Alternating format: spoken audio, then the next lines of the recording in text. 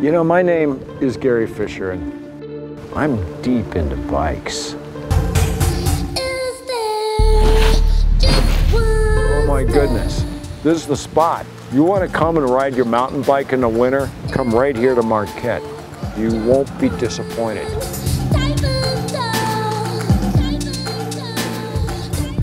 Makes a lot of sense that this place would be the world capital for snow bikes.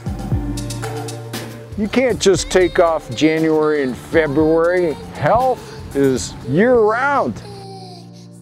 You know, it's a good life, my friend. It's the good life.